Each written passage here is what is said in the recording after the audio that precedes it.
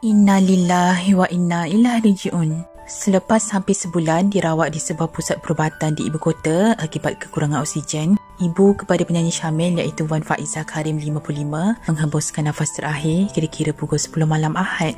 Syamil memberitahu doktor sudah melakukan yang terbaik namun Allah lebih menyayangi arwah ibunya yang dipanggil Umi. Saya reda dengan pemergiannya. Sekarang saya masih dalam proses menguruskan jenazah di hospital.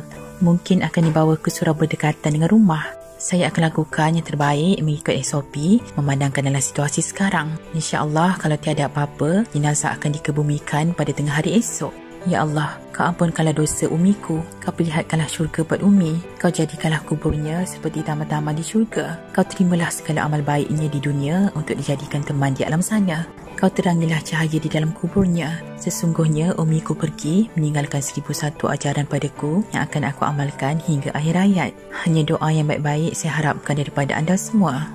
Marilah kita sama-sama doakan supaya roh Allah Yarham ditempatkan dalam kalangan orang-orang yang beriman. Al-Fatihah.